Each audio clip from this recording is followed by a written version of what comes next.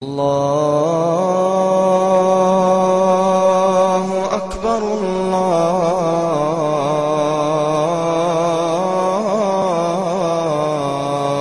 أكبر Tuan Qadi tanya kepada kawan nak menikah Tahu sifat 20? Tahu Mengaji semua, mengaji semua Ha, Bagi tahu satu daripada sifat Tuhan Tuhan ada di langit Bukan budak tu mengucap Qadi tu mengucap balik.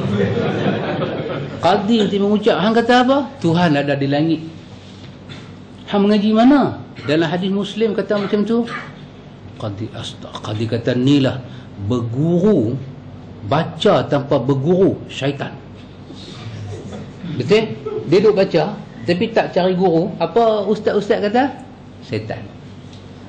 Baca tak ada guru setan. Tak baca terus Tak apa. Tak baca terus tak apa Jangan baca tak ada guru Betapa bahlulnya kawan cakap lagu tu Tak baca terus Dengan baca Yang mana lebih baik Tapi dia boleh kata Baca seorang-seorang Malla syaikhuhu fa syaitanu syaikhuhu. Siapa tak ada guru, setanlah guru dia. Subhanallah. Saya ingat lagi Syekh Maulud kata hadis ni hadis Yahudi. Hadis ni hadis Yahudi. Yahudi suka orang Islam bodoh. Dia buat kaedah ni. Kita pun lagu tu mengaji dengan siapa? Mengaji kita kulit ke kulit. Dia tak abang isi, kulit ke kulit.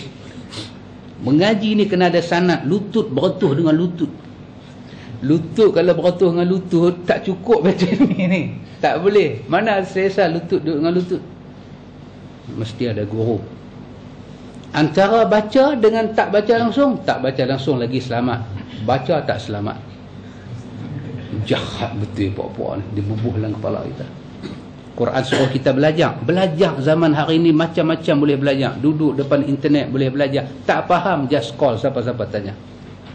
Muzakarah sahabi kita boleh buat. Duduk muzakarah di kalangan para para sahabat tak tanya lagi tak tahu lagi pergi tanya lagi siapa-siapa yang tahu lebih itu ilmu bukan mesti duduk dengan satu kaedah di akhir zaman ni semua kita dapat ilmu أشهد أن لا إله إلا الله